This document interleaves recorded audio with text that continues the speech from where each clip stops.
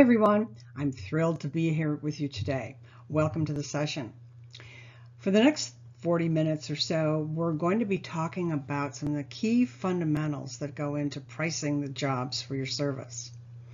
Things such as uh, knowing your expenses, knowing your labor costs and your other fixed expenses, understanding what a productivity rate is and how that affects how you charge.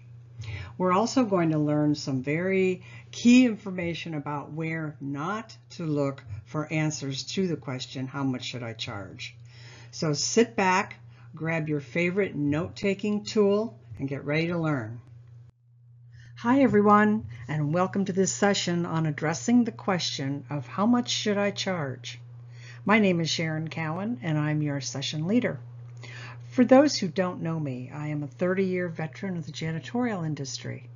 I purchased a small residential company on the east coast of Florida many years ago, and that was my first venture into the industry. My company had six employees at the time and was operating in a geographically small area and provided residential services only. In order to grow the volume that I wanted, I knew I had to expand my geographic market area and add to the services I provided. I worked to grow by expanding into four surrounding counties, eventually becoming a regional company, and added commercial and post-construction cleaning to my menu of services. When I sold the company many years later to pursue coaching and consulting full-time, I had 145 employees, including five supervisors, a general manager, and three office staff. Phew! I love the work that I've been doing over the past many years, working with business owners who have growth and profit in their sights. I've been called by some a turnaround specialist, so yes, I can fix things too. And I welcome a challenge no matter what obstacles an owner might face. One question I hear often and see on social media a lot by owners is how much do I charge? What should I charge for this or that? I'm not sure if I'm charging too much or too little. Charging the right amount for your service is a cornerstone to making profit. This is one of the most important pieces of a well-run, profitable cleaning service, and I'm here to help you understand it today. So let's jump right into this important topic. You know, pricing jobs profitably is one of the most important skills an owner must learn if growing a successful company is part of your plan, and let's hope it is. If you spend any time on social media or in Facebook groups, you'll see this question asked every day in almost every group. What should I charge for this size space? Or I don't want to charge too much. Wow, chances are great, more often than not, that you'll be undercharging rather than overcharging. And that's a huge problem as well. This is one area of your business that you must excel in if you're to succeed and be profitable. This is a skill that can and must be learned.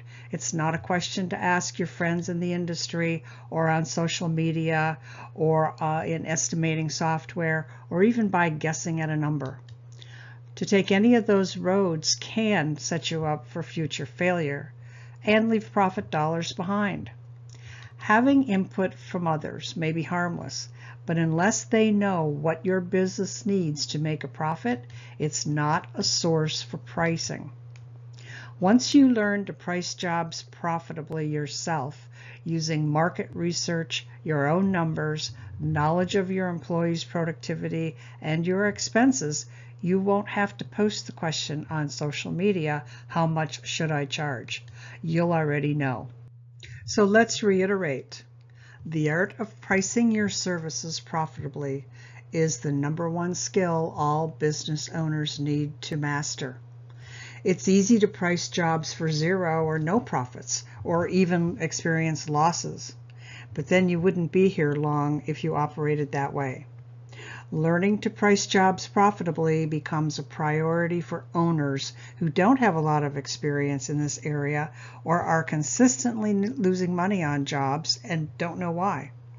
It's truly more important to your business than getting new business. Until you have pricing down and you know that every job will be profitable, getting a steady stream of new business becomes futile. The graphic on the screen indicates three of the key elements of most businesses. While each one is important in the overall operation of your business, in the order we have placed here, you'll see great emphasis on estimating and financials because unless those are right, the other two pieces of the pie won't matter. Once you know how to price jobs profitably and what to charge, you won't ever again have to ask someone, how much should I charge? You may have to ask a professional for help when pricing a job, however, that's out of the norm or something that you haven't done before. But for routine work, asking someone else to give you what they would charge will no longer happen. As important as it is to know where to get information about prices, it's equally important to know where not to get pricing information. If you use social media as your source for getting a number to charge a customer for your services, we have a little work to do here. And here's why. The only numbers that work in pricing your services are your numbers. When you ask someone else, or everyone for that matter, in a uh, social media group, to give you an answer to pricing, you'll get numbers that span a large range and that's because everyone who is giving you numbers has different costs, different competition, different labor expenses, different demographics, different insurance costs, and on and on. Truthfully, those numbers aren't relevant whatsoever to what you need to charge. Prices for these items vary from city to city across the country. And to set your pricing based on someone else's costs means it's time to put in the hard work to learn your own numbers and what you have to charge your customers to make a profit in your market, not someone else's. Making profit is the reason you're in business, unless, of course, you're a charitable organization, in which case your goal is not to make profit. Too many times we don't make profit because we underbid, we lose money, and we don't know why. Most business owners know and understand the reason we want to make profit. Many just don't know how to get it. So when you ask someone else to give you a number to price a job, you're leaving the control of your profit and or loss to them. You're taking at face value what they would charge in their area not knowing any of your costs, expenses, or even market demographic.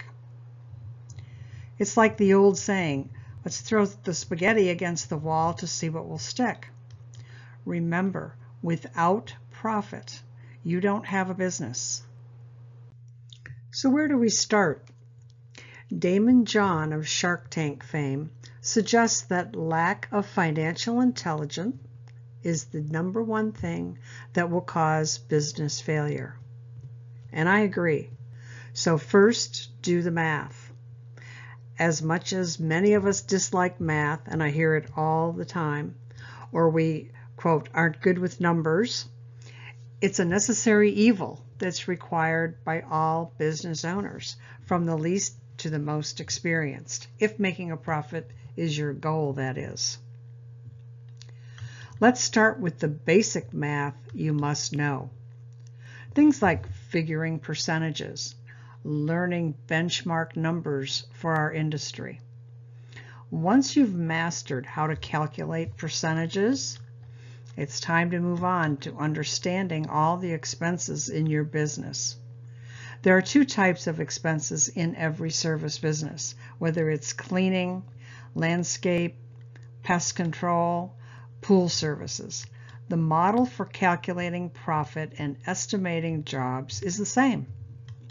The two types of expenses are variable, sometimes called direct expenses, and fixed expenses, sometimes called indirect. We'll talk a little more about that later. Variable expenses are the costs that are directly related to the cleaning that is done. In other words, it is the cost of their cleaner's labor. Fixed costs are the costs you have each month, whether you have 10 jobs that month or 100 jobs that month. So let's take a closer look. The cost to get work done, or your cleaning labor, is of course the biggest variable expense you have, and it is the most controllable. Having high labor costs is caused by one of two possibilities. Either underpricing or out of control hours spent on accounts, and in many times both of these causes are at fault. Knowing your cost of labor along with the related payroll taxes and controlling it can make or break your company's profit. This applies more when paying employees by the hour than when paying on a commission basis. However, underpricing can occur no matter how you pay your people. Also included in your cost of getting the work done is any mileage or travel time you pay, as well as the cleaning supplies you use to complete the work. Here's an example of why the cost of labor matters. A company on the west coast of the country has minimum wages that are very much higher than in the middle or southern parts of the U.S. If they both charged customers the same rate, the business paying the higher wage would have a lower profit. In this case, the high-wage company has to have a higher charge to the customer in order to keep their labor costs on budget, pay their bills, and have profit left over. Every business owner should know their current and year-to-date labor cost percentage as this clearly impacts how much you charge. Do you know your current labor cost percentage? When determining what you should charge, you must not only know what hourly wages and taxes you are paying, you must also know how many hours you are allocating for the job. It's necessary to determine an estimate of time needed to complete the work in order to give an estimate. Time spent on the job and money charged for the job go hand in hand, even when you give the customer a flat rate price. A flat rate price is still based on estimated hours to clean, just as is an hourly price. Here's the secret to profit. The real time spent on the job must equal the time you allocated when setting the price. Let me repeat that.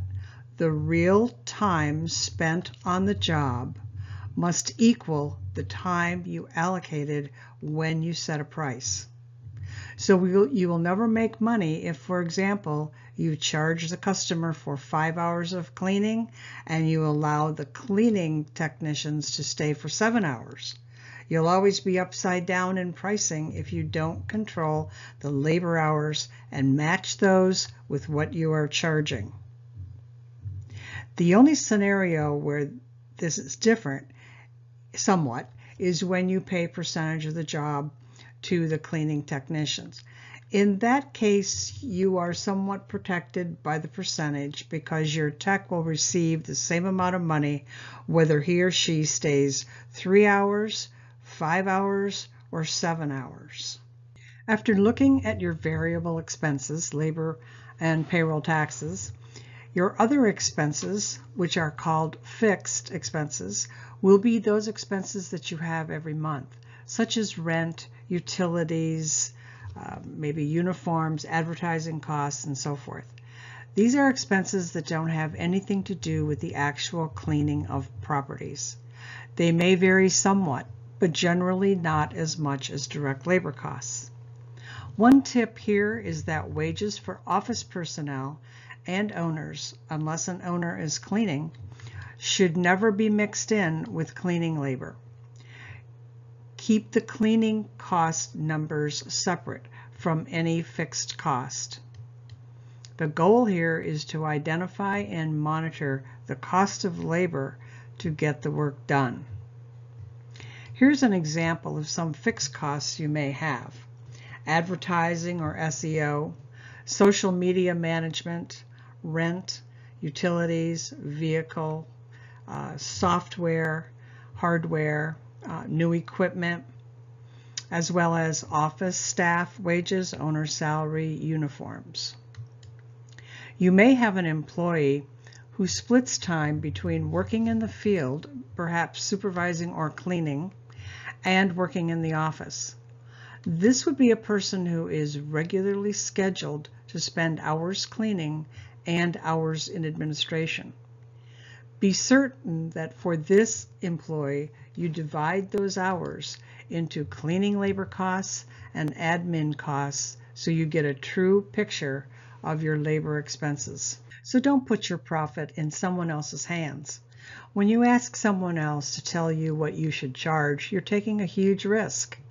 They are pricing the job the way they would for their business, which means you have no idea what their expenses are or how they compare to yours.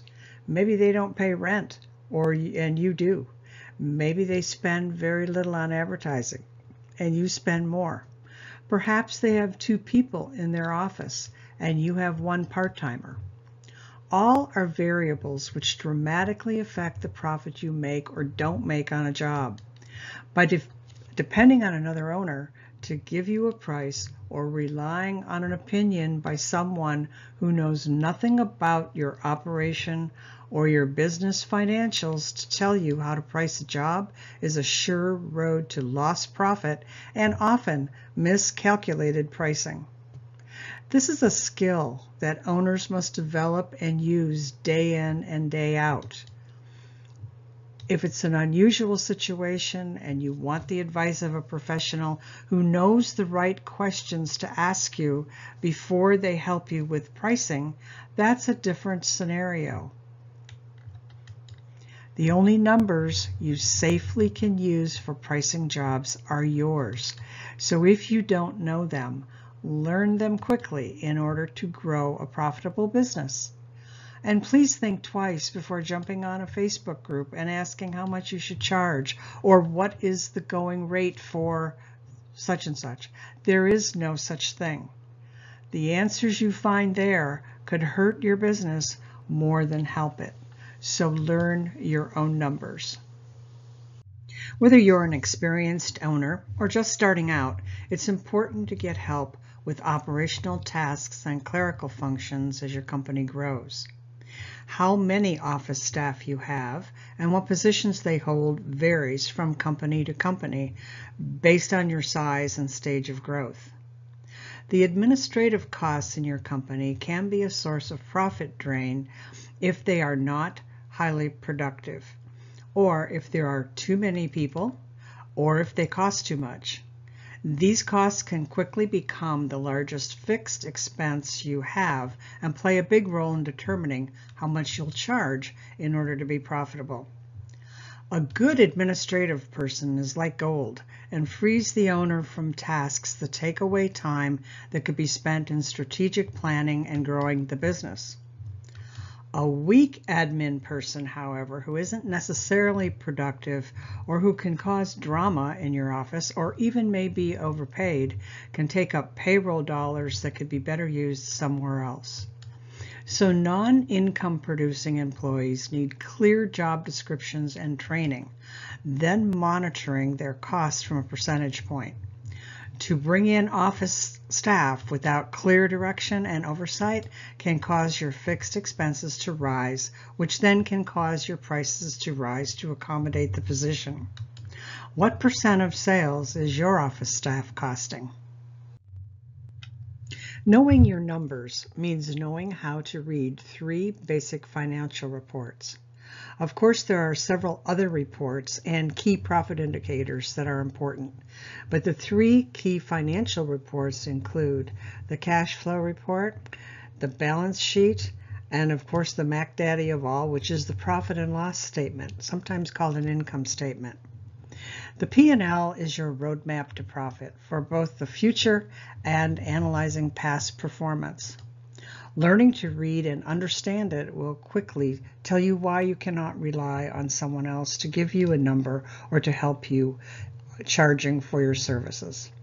Your numbers are your numbers, and they represent the reality of your business, not the reality of someone else's business who may have a totally different set of circumstances and therefore very different numbers to enter into the equation. If your profit and loss report is a mystery to you, or you don't understand what it means, you could be underpricing, losing money, and not knowing why. While we could talk for hours on reading and understanding what the profit and loss statement tells you, I'm going to give you the very short version. We have here a very basic and simplified explanation of the elements of a profit and loss statement. Simply put, the profit and loss statement shows sales you have made for a time period. Let's say it's it can be a day, it can be a week, it can be a month, it can be a year. It then subtracts the labor costs, or what we're calling direct expenses, that you paid to bring those sales in, giving you what's called gross profit. From gross profit, all of your regular fixed expenses, those that you have every month, like rent, advertising, and so forth, are subtracted in order to give you the net profit of the company for that time period. Whenever you run reports, always show the percent to sales for accurate monitoring. Here's a, a simple example. Let's say you have a $100 clean. Your labor costs are $40, including taxes. That means your labor cost actually is 40%. Your fixed expenses are 35% or $35. After adding together our 40 and our 35, you have a total of $75 in expenses, giving you a net profit of $25 or 25%. Now let's imagine that you price this job at $90 instead of 100. Your labor costs are still 40 and our fixed expenses are still 35. So we will still have our $75 in expenses, but we will have only charged $90 for the job, leaving us a profit of $15. If for some reason the cleaning techs go over the estimated hours you've given, the profit will be even lower because the labor costs are higher. They all work together. Do these calculations on the next estimates you give and run them also on a random selection of recent estimates. Here's a tip. In order to find what your overhead percentage is, use the expense percentage shown on your most recent profit and loss statement. They can range anywhere from 15% up to 35% and in some cases more, depending on what expenses you have. There is also software that can help you arrive at a price. However, the software you use will be only as good as the information you input, so it all comes back to knowing your own numbers. Another factor involved with what to charge is the pricing model you use. The two most common pricing models for setting prices are charging by the hour or charging a flat rate. There is a third that isn't commonly used in the residential section of the industry, and that is charging by the square foot, which is often used for in carpet cleaning and or commercial cleaning. We've already discussed the fact that all pricing models time and money are directly tied together. Every price you give, regardless of hourly or flat rate or even square footage, is based on how long it takes and how much you charge for that time. Let's look at hourly rate charging first. When you use hourly charging, you'll determine a rate that's competitive yet profitable. Do some research in your market area to get a range of rates that other like companies, companies like yours, are charging. Based on who your target is, set your hourly rate high enough to attract those in your target market and competitive enough to close sales. If an exclusive luxury customer is your target, you won't want to be the lowest price in town. Remember that high-end homes and Class A offices have high-end furnishings and surfaces. You want to make certain that the fees you charge match with the liability and risk exposure you are taking on. The higher of risk you're taking, the higher the price to the customer. If your target is a middle level income, you may be able to adjust your price to be attractive to that market. Most companies don't have different pricing rates for different levels of income and lifestyle, just differences in the time needed to complete the cleaning. You'll want to make certain the risk matches the reward. Setting a minimum fee for service is a standard practice. There is a basic cost to the business anytime you send someone out to clean, whether it's a home or an office. Once that minimum has been met, it could be two hours or three hours, depending on your situation. The rest of the fees you charge go toward labor, expenses, and profit. For example, we've all had customers who want you to come in and clean for an hour or to do a kitchen and bath situation only.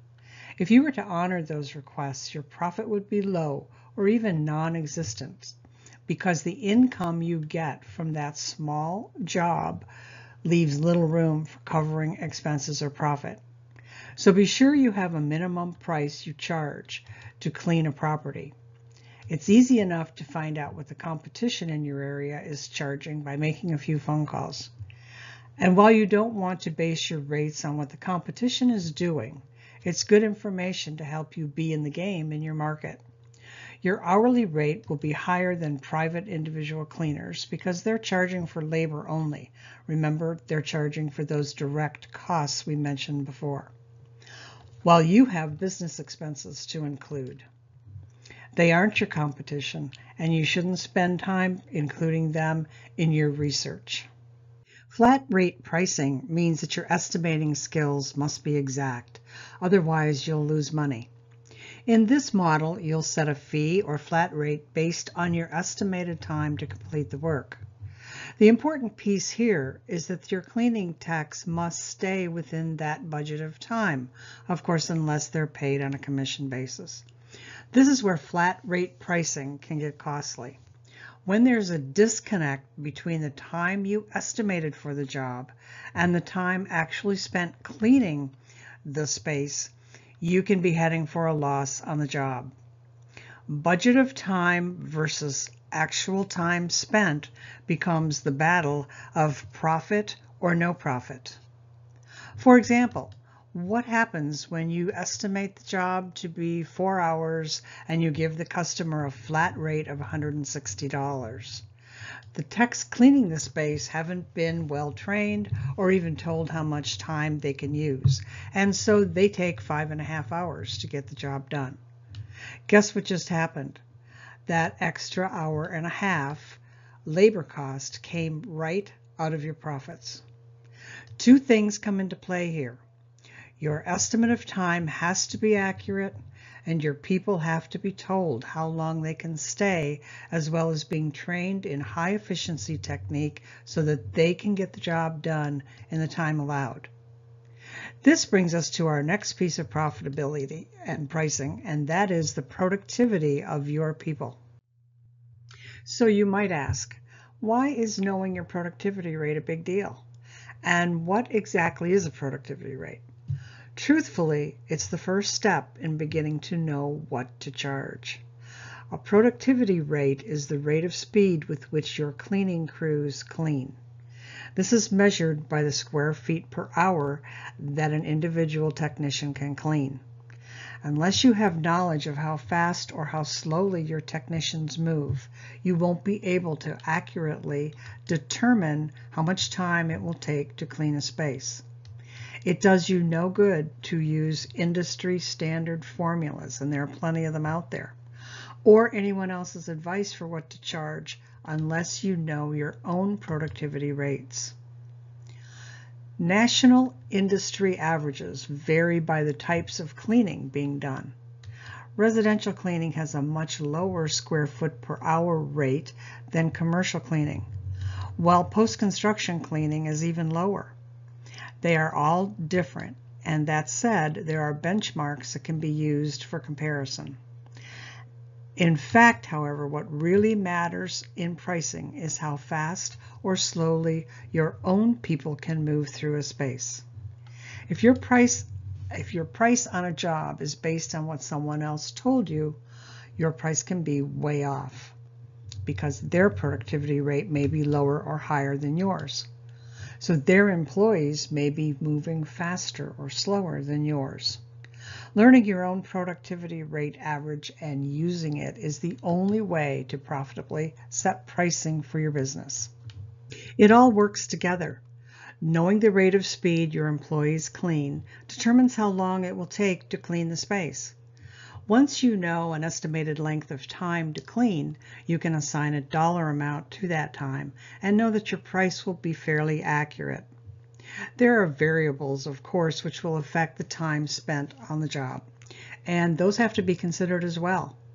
Things such as pets, number of people living in the home, children in the home, clutter, expectation of the customer, including detail and possible rooms eliminated.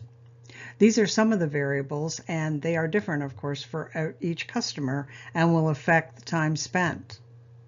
Productivity rates for the residential segment of the industry range from 500 square feet an hour to upwards of 900 square feet an hour. As a comparison, commercial cleaning rates are typically from 2,000 square feet an hour up to 4,000 square feet, and in some highly competitive spaces, they are approaching 6,000 square feet an hour. This would be a wide open space, and just to note, the level of quality can diminish as the square feet per hour increases. The image on the slide shows the process. Knowing the productivity rate of your technician helps determine the hours needed to clean. And once we have the hours, we apply an hourly rate and come up with a price. Here's a closer look at examples of how productivity rates affect time needed on a job and of course then pricing. Using the same square footage home that we show on the slide, we have three sample productivity rates. All of these times are for one cleaner. If you have a team of two, the time is of course divided by two. If you have a team of three, the time is uh, divided by three. So you can see here, our first example has a productivity rate of 700 square feet an hour on average. So they can complete this space in three hours. The second example shows a faster moving team at 900 square feet an hour, getting the space cleaned in 2.23 hours. And finally, a slower moving team at a rate of 500 square feet an hour. And for this team, the job is taking 4.2 hours. If your company is number one, for example, and cleaning at 700 square feet an hour, your price at $40 an hour would be $120. Now let's say you get into social media or you get into a group or ask someone else what you should charge for ongoing service and you get answers from 90 to $90 to $140. You perhaps got an answer from someone whose productivity rate is 900 square feet an hour and another from a slower company whose rate is 500 square feet an hour. There's a huge variance of 200 square feet an hour between example 1 and example 3 and almost 400 square feet an hour between example 2 and 3. While your square foot per hour doesn't have to be exact, it needs to be close enough to help you determine how much time you will need when estimating a job.